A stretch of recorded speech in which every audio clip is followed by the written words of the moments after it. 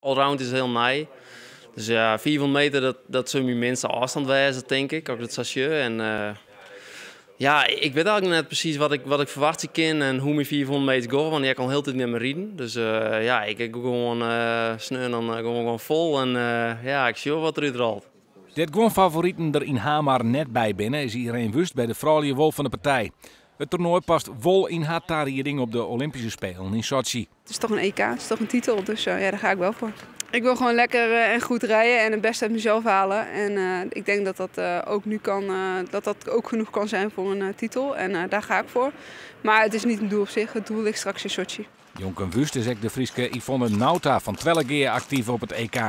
Ik richt me nog steeds echt op die lange afstand om die in Sochi nou ja, ik echt uh, super goed uh, te doen. En, um, dus dit is een ideale training, uh, trainingsprikkel, trainingswedstrijd.